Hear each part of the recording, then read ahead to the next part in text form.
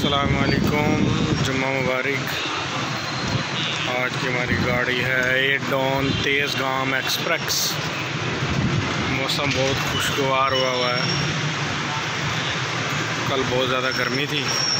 बहुत ज़्यादा आज मौसम बहुत अच्छा है। बस कुछ ही मिनट में अप्रोच कर जाएगी। ये मुमताज़ाबाद फाटक पे खड़े हैं।